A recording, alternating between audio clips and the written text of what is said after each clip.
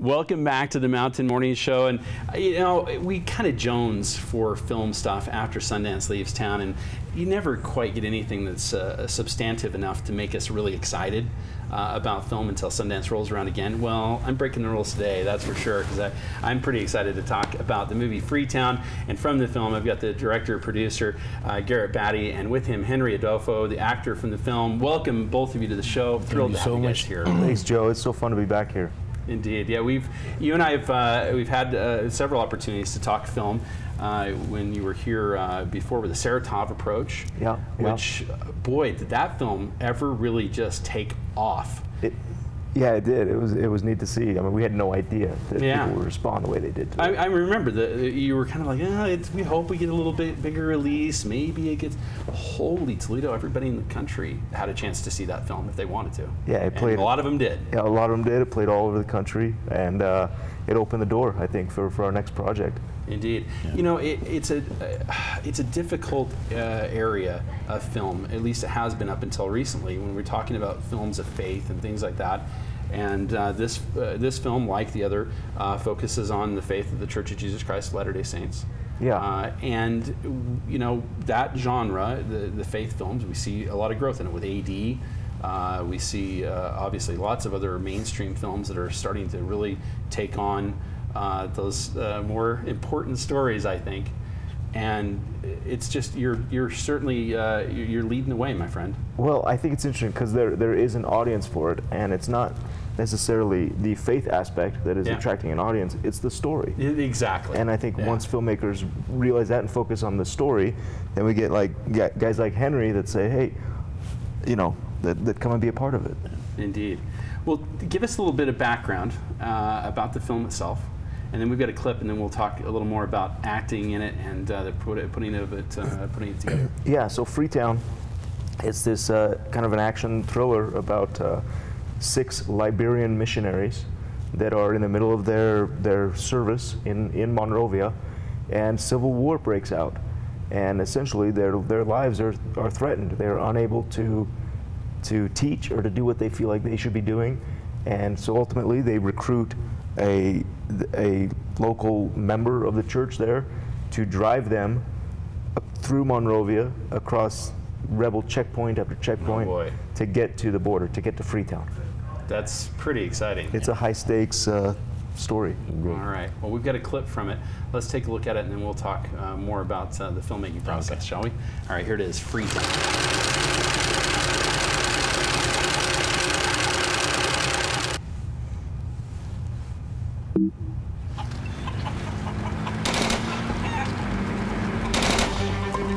Is that rebels?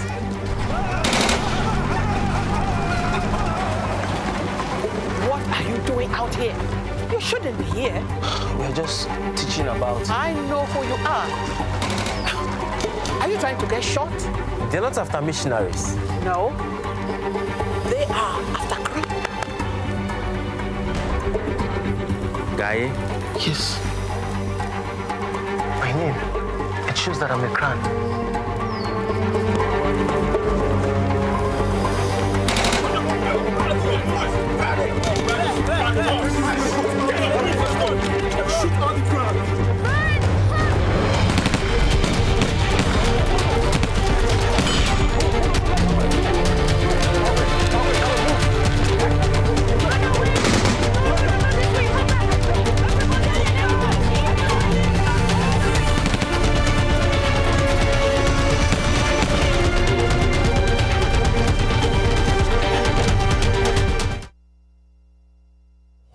That's exciting.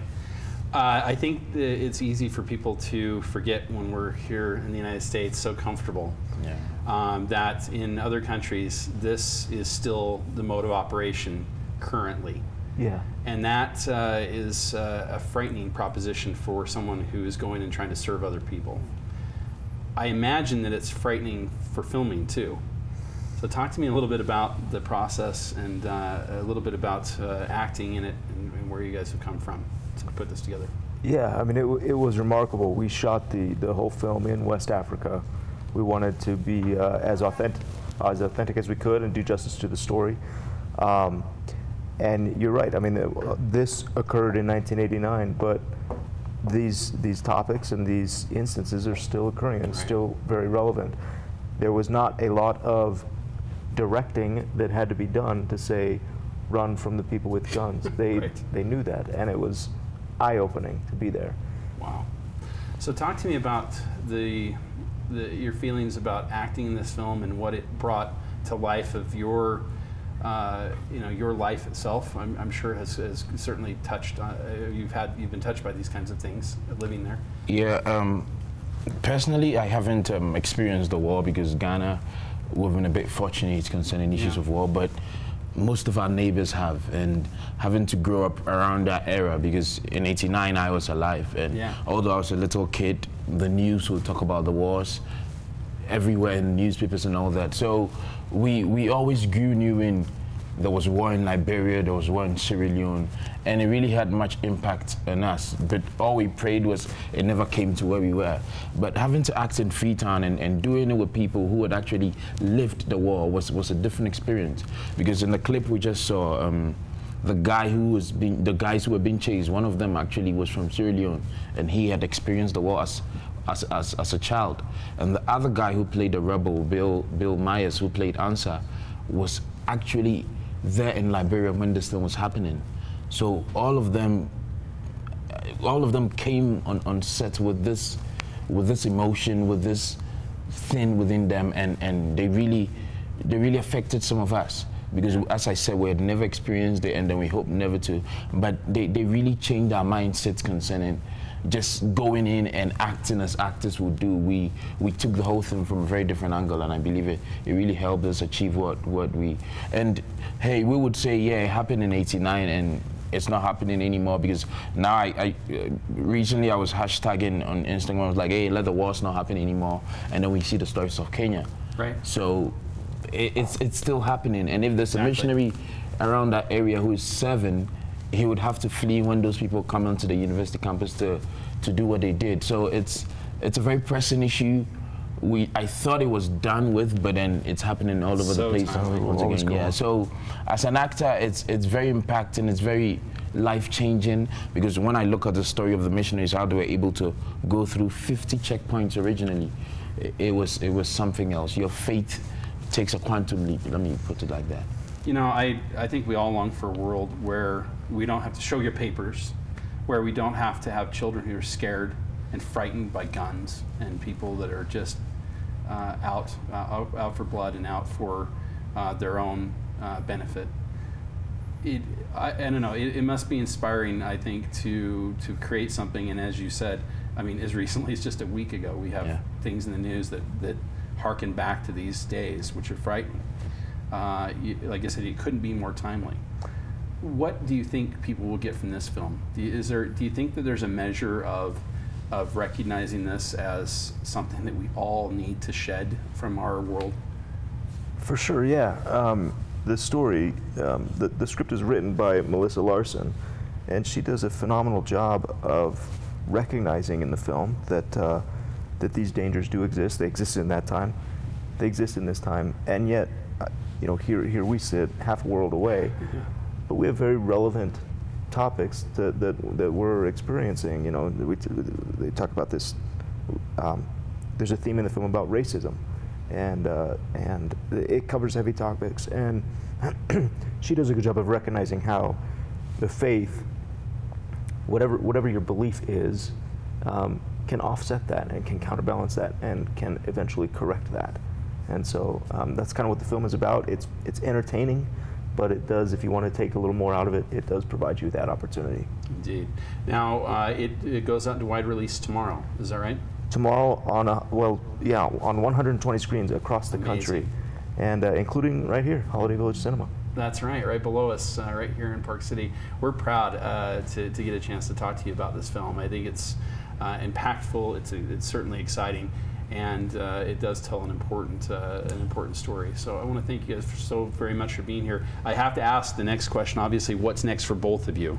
What I know you're always busy. I, I can only imagine you're flying out of here to somewhere tomorrow. It always seems like that. yeah yeah we're going to, to the east coast tomorrow to do some Am I right? I know. and tours and uh, uh, you know, this story has been my focus for the past 18 months. So we're going to finish strong, uh, you know, getting it out there for the next several months. But uh, we encourage everybody to see it, uh, see it starting tomorrow. Excellent. So, how about for you, Henry? What's uh, what's next for you as an actor? Um, as an actor, you would you would hope to get bigger projects. That's Yeah. But um, one thing I did last year before getting on Freetown will be coming out, but that's basically for Africa.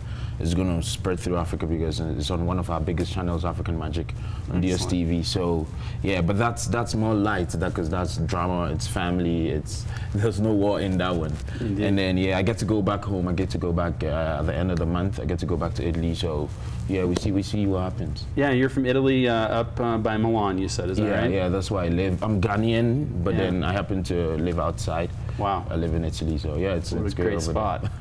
well, certainly a lot of art uh, to be had there, and Yeah. uh, certainly you bring a lot of art uh, yourself. Thanks so much for sharing it with us. Thank you too. Sure appreciate you guys both Thanks, being here. Uh, the movie is Freetown. Don't miss it. Uh, it hits uh, over 100 screens tomorrow, including, of course, uh, right here uh, below us at Park City Television. So don't make uh, so make sure you don't miss this uh, film. It's going to be excellent. We'll be back with more right here on the Mountain Morning Show after this.